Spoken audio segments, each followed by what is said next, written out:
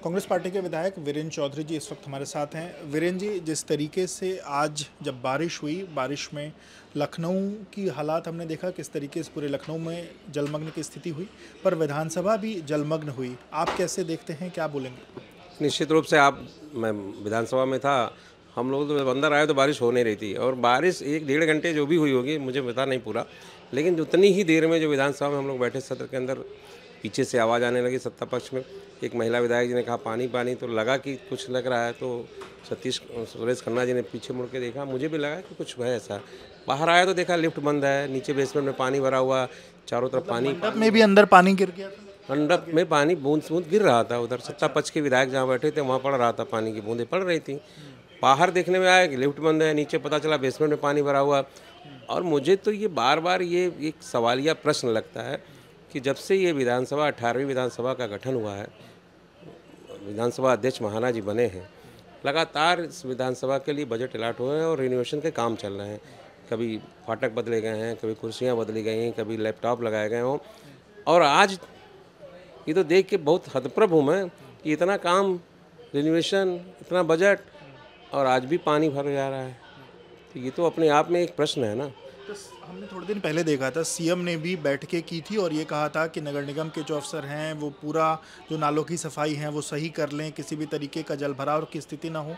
तो क्या सीएम के आदेश के बाद भी इस तरीके की और विधानसभा में पानी भर जाना? देखिए, सबसे बड़ी बात है, लखनऊ की सबसे अच्छे जगहों पर ये विधानसभा बनी है, जहाँ पे ये माना जाता है कि कितनी भी बारिश हो तो पानी यहाँ नहीं रुकना चाहिए। अगर यहाँ पे जल भराव की स्थिति बन रही है तो निश्चित रूप से मुख्यमंत्री के आदेश की अवहेलना हुई होगी और यहाँ के अधिकारियों ने अपनी मनमानी करके न सीवेज ठीक किया न ड्रेनेज ठीक किया न यहाँ का सीवरेज अच्छा कराया। इसी का परिणाम है कि आज विधानसभा में पानी देखने को मिल रहा है। शिवपाल यादव जी ने भी ट्वीट किया उन्होंने कहा कि आ, सबसे ज़्यादा बजट की ज़रूरत तो सदन को है क्योंकि जिस तरीके से यहाँ पर पानी भरा है वो तो फिर कुछ और ही निश्चित रूप से भाई बताइए बजट तो बन रहा था यहाँ के उत्तर प्रदेश के गरीबों के लिए मजदूरों के लिए तमाम लोगों के लिए बजट यहाँ गवर्नमेंट बनाती है। हम लोग सत्ता पक्ष विपक्ष के लोग बैठ के पास करते हैं। आज हमको देख के भी इस बात पे हँसी आ रही है कि उस बजट पे ज़्यादा हिस्सा तो यहीं लगाना पड़ेगा जहाँ खुद पानी भर जा रहा है गाड़ियाँ नहीं निकल पा रही हम लोग बाहर नहीं निकल पा रहे। तो उस बजट का हिस्सा तो यहाँ देना ही चाहिए सरकार को। क्या बीच में निकलना चाह रहे थे लेकिन पानी कारण? नहीं निश्चित रूप से मैं बाहर जा रहा था मैं वापस आके अभी बैठ गया हूँ क्योंकि पानी कहा मेरी गाड़ी जहाँ खड़ी वहाँ भी पानी भरा हुआ बता रहे हैं मैंने पूछा भी ये हालात है विधानसभा के। तो उस प्रदेश के तमाम उन शहरों के बारे में क्या होगा? जिन शहरों में पहले से ड्रेनेज सिस्टम खराब था ये सरकार दावा कर रही थी हम स्मार्ट सिटी बनाएँगे। स्मार्ट सिटी का कॉन्सेप्ट था कि स्मार्ट सिटी बनाएँगे। बनारस को क्यूटो बना रहे थे? आज वहाँ भी पानी भरा रहता है हर समय बारिश होती है तो।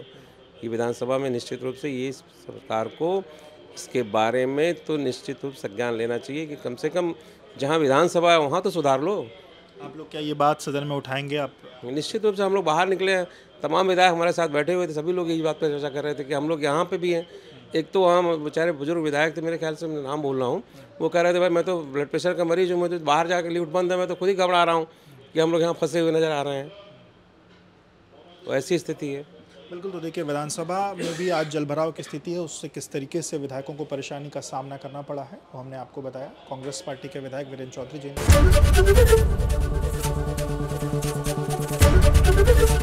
एबीपी गंगा खबर आपकी जुबा आपकी।